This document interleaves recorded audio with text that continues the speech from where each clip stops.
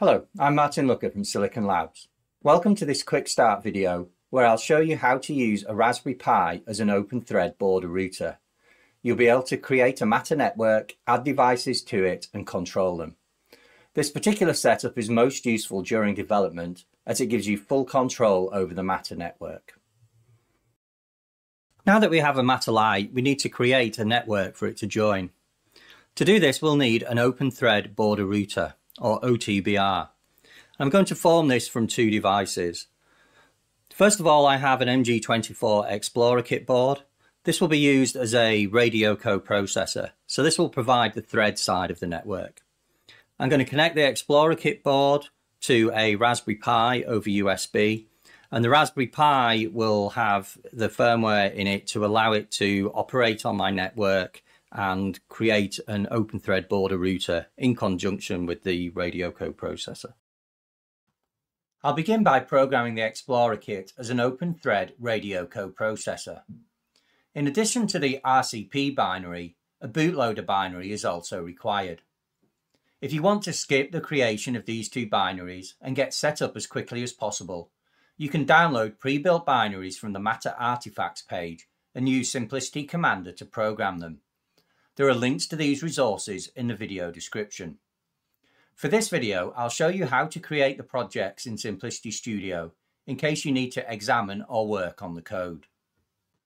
I'm in the Simplicity Studio launcher perspective with my xG24 Explorer kit board connected and selected. On the Example Projects and Demos tab, I've searched for 1MB and the example project I'm looking for is the bootloader SOC internal storage, single image on a 1MB device. I can click the Create button to begin the process of creating the bootloader project. In the new Project Wizard window, I prefer to append the board number to the project name in case I create the project for a different device in the future. Next, clicking the Finish button will create the project files in the file system and Simplicity Studio. Once created, you'll be returned to the Simplicity IDE perspective with an open README and the project files will be available in the Project Explorer pane. To build the project, select it at the top level in the Project Explorer and then click the Build button with a hammer icon on the toolbar. The build progress is shown in the Console tab and any errors or warnings will be under the Problems tab. Once built, a binaries folder will appear in the Project Explorer. Selecting and right-clicking the .s37 file, you can select Flash to Device to open up the Flash programmer. To ensure that my Flash is clean, I'm going to click the Erase button. And then I can use the Program button to transfer the bootloader binary into Flash. Once complete, I can close the Flash Programmer window with the Close button. Next, we need to create the Open Thread RCP binary that will act as the thread interface for the Raspberry Pi informing the Open Thread border router. This follows the same process used to create and program the bootloader. Back in the launcher perspective, I have the Explorer kit board connected and selected, and I'm on the Example Projects and Demos tab. I've filtered the list for OT-RCP and we can find the Open Thread RCP example here and click the Create button to begin creating the project. In the wizard, I've appended the board number to the project name and I'm going to click Finish to start creating the project. Next, I can select the top level of the RCP project and click the Build button. The final step is to locate and select the .s37 file, then right click it and select Flash to Device. I'm just going to click the Program button this time. I'm not using the Erase button as the RCP binary needs to sit alongside the bootloader binary in the flash memory. Next, we need to program some firmware into the Raspberry Pi so it can operate as our open thread border router. The starting point for this is the Silicon Labs Matter Software Artifacts page. There's a link in the video description. On this page, you'll need to locate the Matter Hub Raspberry Pi image section and download the zip file, which you'll need to extract before continuing. This page is also where you can find links to the pre-built binaries for the RCP and the bootloaders. Binaries for Matter accessory devices like lights and switches are also available from this page. While my image is downloading, I'm also going to get hold of Raspberry Pi Imager. This is a software utility we can use to program the image onto a micro SD card for use in the Raspberry Pi. It's available from Raspberry's website and I just need to download for my operating system. So I've installed the Raspberry Pi Imager utility and have it running on my PC. I've also unzipped the image that I downloaded from GitHub. So to get this burned onto my card, I need to first of all use the choose OS button and select use custom. And from here, I can select the downloaded image from my local file system. Next, I need to choose the drive where my micro SD card is located, and then I can hit write to burn the image onto the drive. So I have everything programmed ready to use. It's worth a quick run through of what I have on my desk here to, I'm going to use to form this system. This device here is a mini Wi-Fi Ethernet router. So my PC is connected to the network formed by this router. This router is connected over Ethernet to my Raspberry Pi OTBR using the green cable that you see here.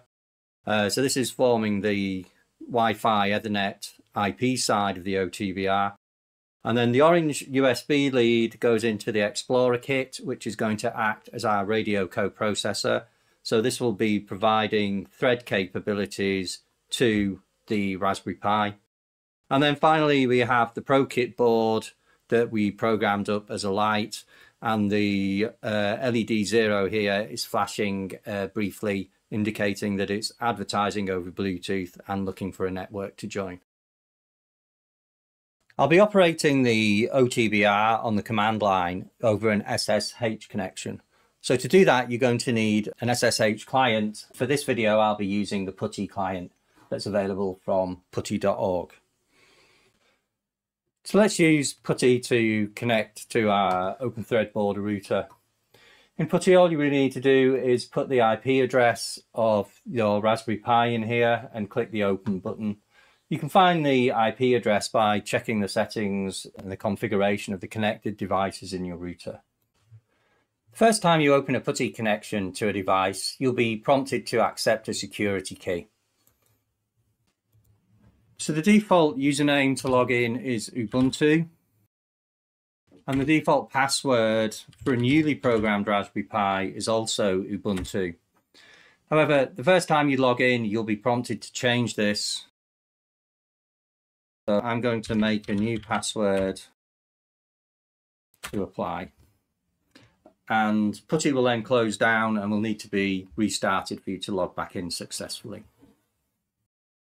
So I can now log in with my new password. And I'm now at the command line ready to start interacting with the Matter system. We're going to interact with the Matter system by the use of a command tool called Matter Tool. Let's just issue the a basic matter tool help command.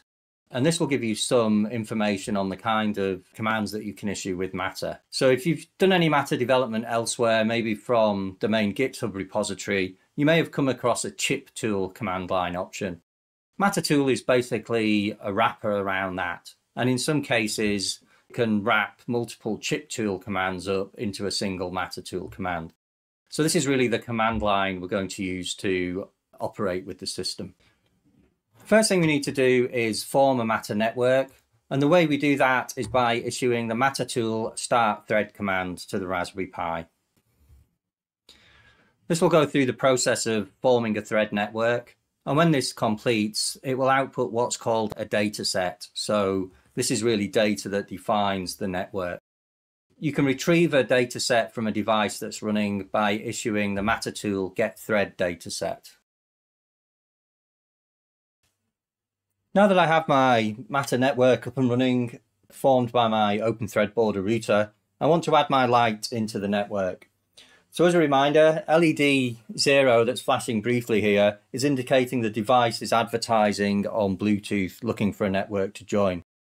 When our OTBR forms the Bluetooth connection, that will flash more rapidly, and during that time it will exchange network credentials for the thread part of the network.